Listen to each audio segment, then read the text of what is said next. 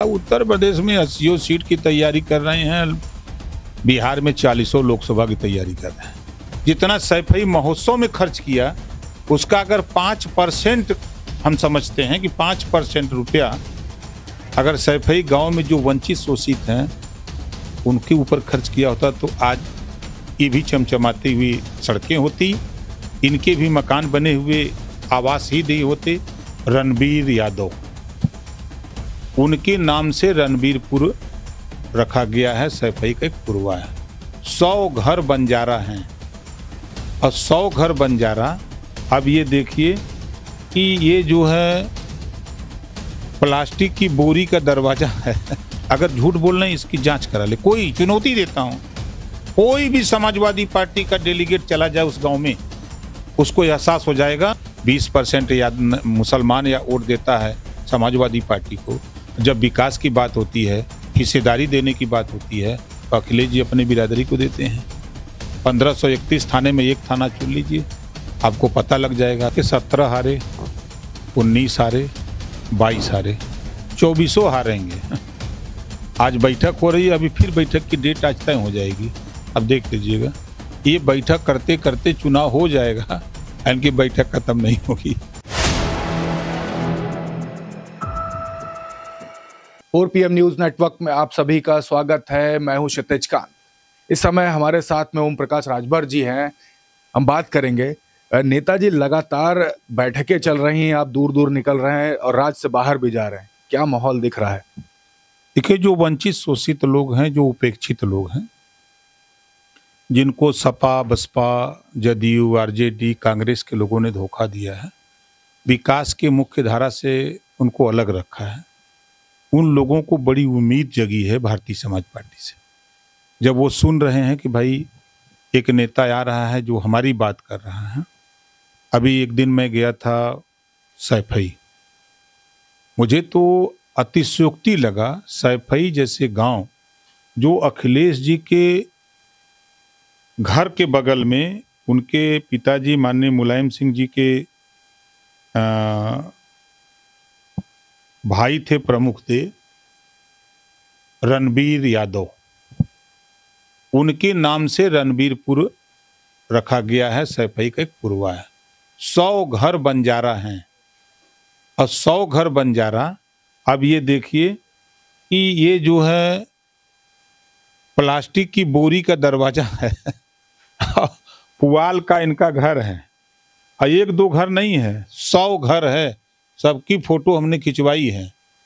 और हम चुनौती देते हैं कि इसके चाहे किसी भी गूगल पे डाल दीजिए, आपको सैफई का रणपीर, रणबीरपुर गाँव का आपको मिल जाएगा। न रास्ता है, न शौचालय है, न नाली है, न घर है, ये स्थिति इनकी है। तो ऐसे लोग, आप समझिए कि ये बेचारे कैसे जीवन यापन कर रहे हैं। ये विकास की बात करते हैं लोग। जितना सैफई महोत्सव में खर्च किया उसका अगर पाँच परसेंट हम समझते हैं कि पाँच परसेंट रुपया अगर सैफई गाँव में जो वंचित शोषित हैं, उनके ऊपर खर्च किया होता तो आज ये भी चमचमाती हुई सड़कें होती, इनके भी मकान बने हुए आवास ही नहीं होते, इनके आवास बने होते तो ये दिखते तो ये ओम प्रकाश के साथ नहीं रहते। यही बंजारा समाज के लोग समझिए कि अस्सी हज़ार, नब्बे हज़ार, साठ हज़ार वोट एक एक पार्लियामेंट में समाजवादी पार्टी को देते हैं। लेकिन उसके एवज में क्या मिलता है? प्लास्टिक डाल करके रहो, विकास की बात मत करो। तो ये विकास से जो दूर हैं लोग, चाहे वो कांग्रेस की सरकार रही हो, चाहे बसपा की सरकार रही हो, चाहे सपा की सरकार रही है, अब उनको विकास के मुख्य धारा से जोड़ा जा रहा है। तो अब वो लोग हम लोगों के साथ खड़े हो रहे हैं। नेताजी पहले समाजवादी पार्टी के साथ में थे आपके पुराने दोस्त हैं और काफ़ी तीखे तेवर रहते हैं और काफ अभी अभी आपने फोटोग्राफ दिखा दी पूरी पोल खोलते चले जा भाई ये जो चुनौती देते हैं पुराने दोस्त को छोड़ दिया नहीं मैं छोड़ा नहीं हूँ। सब यूपीए में है देशे में है सब लोग। 140 करोड़ जो आबादी उसी में सब लोग हैं। 25 करोड़ जो आबादी यूपी के उसी में वो लोग भी हैं। सवाल वहाँ ये खड़ा होता है कि छोड़ने न छोड़ने का नहीं, विकास की मुख्य धारा में अपनी जाति के अलावा सभी जातियों को छोड़ क्यों दिया? सवाल यहाँ खड़ा होता है। इस नाते आरोप हम अगर झूठ बोल रहे इसकी जाँच करा ले। कोई चुनौती देता हूँ। कोई भी समाजवादी पार्टी का डेलीगेट चला जाए उस गाँव में, उसको एहसास हो जाएगा, हमारा, हम लोग गए, हम आए तो फिर मैंने भेजा। हमने कहा, कैमरा लेके जाओ, फ़ोटो खींचो। तो जो वहाँ वर्तमान प्रधान है वाल्मीकि जी, वो खुद गए। उन्होंने स्वीकार किया। उन्होंने स्वीकार किया कि नहीं, इनकी माली हालत खराब है, इनके आवास नहीं है, सड़क नहीं है, ये नहीं है, वो नहीं है। वो प्रधान जी बोल रहे हैं। उनका भी वीडियो है मेरे पास। तो इस तरह का जो लोगों के साथ सौतेला व्यवहार हुआ है तो उससे लोग तंग आकर के, ऊब करके लोग सब लोग एनडीए के साथ भाग रहे हैं। लगातार यहाँ पर भी बैठकें होती हैं। बसपा के लोग ज्वाइन कर रहे हैं सुभाषपा समाजवादी पार्टी के तमाम लोग टूट करके आ रहे हैं। वजह क्या बताते जब आपके पास आते हैं? अभी जैसे आपके आने के पहले, पंद्रह मिनट पहले एक सज्जन आए थे, सपा के राष्ट्रीय सचिव थे। उन्होंने जब अपनी पीड़ा बताते बताते आँख से उनके आँसू आ गया कि साहब वहाँ जाके गेट पर हम लोग खड़े चार घंटा पाँच पाँच घंटा खड़े रहते हैं, तब भी नहीं मिल पाते हैं। और आपके यहाँ आए और गेट पर बताए आप यहाँ कुर्सी पर बैठा लिए और हमसे बतिया रहे हैं। लगभग आधी घंटा बातचीत हुई, इतना प्रभावित हुए इतना प्रभावित हुए कि वहाँ से बढ़िया तो यही है। हमने उनकी दुखती हुई नब्ज पर थोड़ा हाथ रखा तो उन्होंने कहा कि नहीं, सही कह रहे हैं, हमको बीस परसेंट या मुसलमान या वोट देता है समाजवादी पार्टी को। जब विकास की बात होती है, हिस्सेदारी देने की बात होती है तो अखिलेश जी अपनी बिरादरी को देते हैं। पंद्रह सौ इकतीस थाने में एक थाना चुन लीजिए।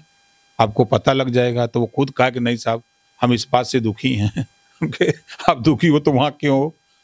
जब दुखी हो तो इलाज कराने के लिए आओ हमारे साथ हम उसकी दवाई करते हैं ठीक हो जाओगे? चौबीस के चुनाव से पहले काफ़ी बड़े नेता समाजवादी पार्टी के ये इनपुट बता रहे हैं कि आप लाने वाले हैं एनडीए अलायंस में ज्वाइन एनडीए अलायंस को ज्वाइन करेंगे भारतीय जनता पार्टी में आ जाएँगे। कई लोग लाइन में लगे हुए हैं। दल भी कई गो हैं जो एनडीए में शामिल होने के लिए परेशान हैं। बातचीत दो दौर की हो चुकी है फाइनल होना है और कुछ नेताओं की हाजिरी भी वहाँ बातचीत करा दिए हैं और कुछ लोगों को लेके जाना है। जिस दिन आपके स्क्रीन पर आएगा तब नाम। ये रास्ता सुभाषपा पार्टी से होकर गुजर करके जा रहा है एनडीए जब से आपने ज्वाइन किया तमाम लोग धीरे धीरे करके ज्वाइन कर रहे हैं बीजेपी। अब असल में लोग हमसे मिल लेते हैं अपना दुखड़ा कह लेते हैं। तो हम कहते हैं कि हमको वहाँ मिलवा दीजिए। तो और लोगों के यहाँ भाई सिस्टम है जाने का। हमारा डायरेक्ट है जहाज़ पकड़िए कट से उतरिए, पट से पहुँच जाइए। हम जाते हैं तो टाइम फिक्स होता है कि इस टाइम को आना है। उसी टाइम को यहाँ जहाज़ पर बैठते हैं। जिनको जाना होता है उन्हीं से टिकट करवाते हैं और उन्हीं के साथ चले जाते हैं, जाके मिलवा के और फिर उधर से लौट के फिर लखनऊ आ जाते हैं। आज इंडिया अलायंस की बड़ी बैठक है और सीट बंटवारों को लेकर बात हो रही है। अभी हिंदी पट्टी की बात की जाए, पाँच राज्यों में चुनाव हुआ तो कांग्रेस को करारी शिकस्त मिली। चौबीस में चुनाव भी हो अस्सी सीटों के दावा कर रही है कांग्रेस समाजवादी पार्टी भी कर रही है। आपस में कुछ कॉन्फ्लिक्ट हमेशा दिखाई देता रहा अभी तक के। आप क्या मानते हैं आगे क्या होने वाला है? ये सत्रह हारे उन्नीस हारे बाईस हारे चौबीसों हारेंगे। आज बैठक हो रही है अभी फिर बैठक की डेट आज तय हो जाएगी। अब देख लीजिएगा ये बैठक करते करते चुनाव हो जाएगा इनकी बैठक खत्म नहीं होगी। अलायंस में इंडिया अलायंस में क्या सेंधमारी कर ली है आपने? बहुत मजबूती से। कितने घटक दल आ रहे हैं? अब नाम नहीं बताएँगे और न गिनती मोर देन गिनती भी नहीं बताएँगे। बस फिगर में है कि नहीं इतना जान लीजिए कि बड़ी संख्या में लोगों को इधर जल्द ही जियो मुहिम शुरू होगी। अभी दरवाज़ा बंद है जियो खुलेगा तो आप धड़ाक से सबको हिला देंगे। पूर्वांचल की कैसी तैयारी? क्योंकि लगातार आप वहाँ पर वर्क करते रहे जमीनी स्तर पर और गाँव गाँव मैंने खुद देखा है जाकर के वर्क कर रहे हैं। जमीनी स्तर पे क्या माहौल है? क्योंकि जब से बीजेपी ज्वाइन कर ली है तो कई बार बात होता है, जब नेता जब कद जब बढ़ता है तो जमीनी स्तर पर नहीं पहुँच पाता। लेकिन आप लोग लगातार वर्क करते रहे, आपकी टीम वर्क करती रही, अभी क्या माहौल है? बहुत अच्छा माहौल है। देखिए, पूर्वांचल ही नहीं, अभी छः तारीख को मैनपुरी में कार्यक्रम किया था, भोगांव विधानसभा में। अभी सात तारीख को हरदोई में कार्यक्रम किया था। मैं दिबियापुर विधानसभा औरैया में कार्यक्रम किया था। पश्चिमांचल में जो कार्यक्रम हो रहे हैं, पाँच हज़ार, सात हज़ार, आठ हज़ार, दस हज़ार, ऐसे लोग जुट रहे हैं अपने पैसे संसाधन से। हमारी आदत है कि हम साधन नहीं देते। भैया, अपने से हम उनको बता देते हैं कि देखो, ये ये लड़ाई है, ये लड़ाई लड़ना चाहते हो तो आप लोग दस दस रुपया जुटाओ, एक गाड़ी करो, चलो। तो लोग अपने चंदे जुटा करके बैठ की गाड़ी में आते हैं। हम जाते हैं तो भाषण सुनाते हैं कि हम क्या आपके लिए करना चाहते हैं। आप हमारा साथ दोगे तो क्या क्या आपको मिलेगा? आपकी आवाज़ को हम विधानसभा में हम आपकी आवाज़ को प्रेस के सामने हम आपकी आवाज़ को जनता और नेताओं के सामने हम रखेंगे और लड़ाई लड़ेंगे क्योंकि विधानसभा के अंदर जो मुद्दों की बात हम करते हैं मुद्दों को लेकर के विधानसभा के अंदर हम उसको लड़ते रहते हैं। जिसकी आवाज़ वहाँ तक पहुँची हुई है तो वो लोग खोजते रहते हैं कि नेता आ जाए तो उनके साथ हम लोग जुटें।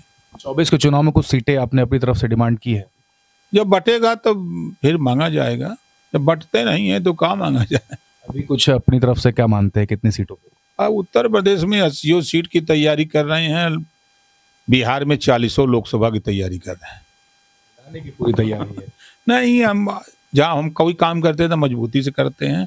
नहीं करते हैं तो नहीं करते ओम प्रकाश राजभर जी से बात हो रही थी। साफ़ तौर से बता दिए लास्ट में एक बड़ा मैसेज दिया 80 सीटों की तैयारी है और 40 सीटों की तैयारी बिहार में। और रायसेना हिल्स का रास्ता उत्तर प्रदेश और बिहार से ही गुजर करके जाता है। तमाम जमीनी मुद्दों पर भी बात हुई। कैसी लगी आपको कमेंट बॉक्स में लिखते रहिएगा और जुड़े रहिएगा फोर पी न्यूज़ नेटवर्क के साथ ग्राउंड रिपोर्ट के लिए। मैं हूँ क्षतेज कांत, कैमरा पर्सन शुभम के साथ। धन्यवाद।